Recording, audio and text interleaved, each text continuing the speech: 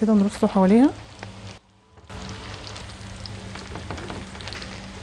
مش هتاكلوا عند بحة تاني ابدا ابدا. تيجوا تاكلوا عندي.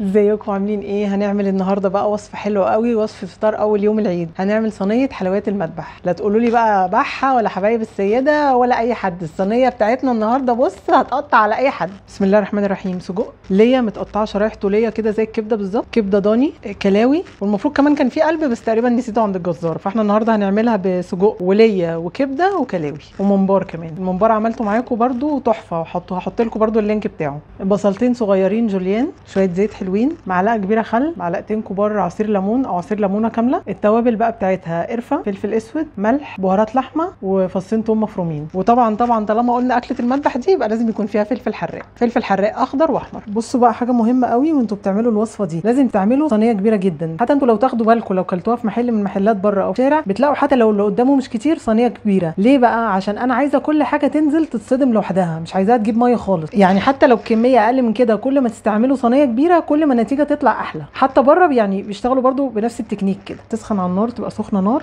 اضيف الزيت. حبة زيت حلوين كده ما تستخسروش. أضيف على طول بعد الزيت اللية.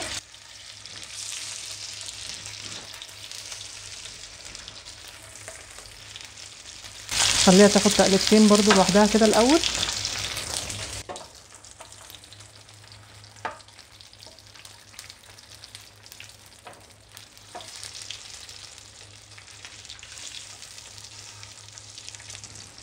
ريحتها ابتدت تطلع اهي. قلبتها شوية في الزيت. انزل بقى أول حاجة بالكلاوي. ولو كان في قلب موجود القلب بينزل بعد الكلاوي على طول. يعني بشوح الأول الكلاوي شوية وتاني حاجة بضيفها بتكون القلب.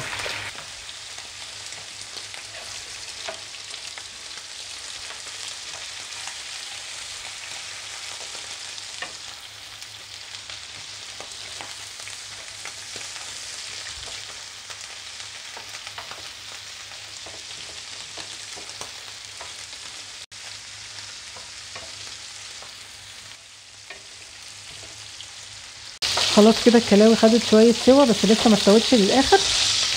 اضيف بقى دلوقتي السجق. الكبدة آخر حاجة خالص آخر حاجة بنضيفها الكبدة. السجق شغال أهو الكلاوي على جنب. اضيف بقى جنبهم البصل.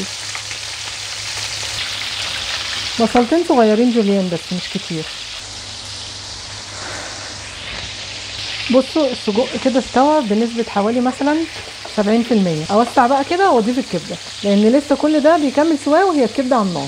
أضيف بقى الكبدة آخر حاجة بنضيفها لأن الكبدة ما بتاخدش سوا خالص. اوسع لها كده شوية تاخد فرصتها برضو.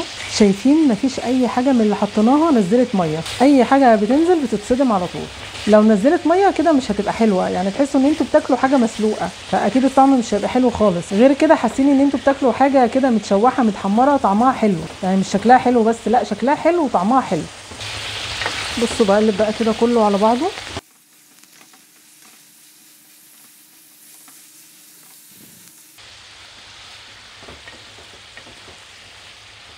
كده كله يستوي بقى كده مع بعضه وياخد من طعم بعضه. في المرحلة دي بقى أضيف التوابل كلها. حابه تحطي فشة حطي حابه تحطي زور حطي. يعني شوفي إيه اللي بيحبوه عندك وبياكلوه حطيه. دي بقى ملهاش قواعد خالص اللي نفسك فيه حطيه. بس أنا عملت اللي بيحبوه هنا يعني وبياكلوه.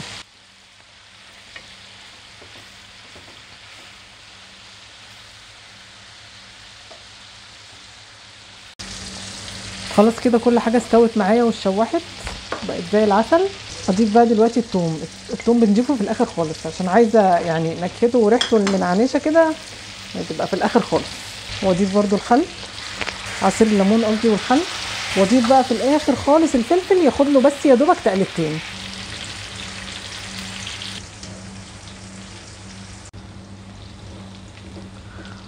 والممبار بقى كده نرصه حواليها. مش هتاكلوا عند بحة تاني ابدا ابدا. تيجوا تاكلوا عندي.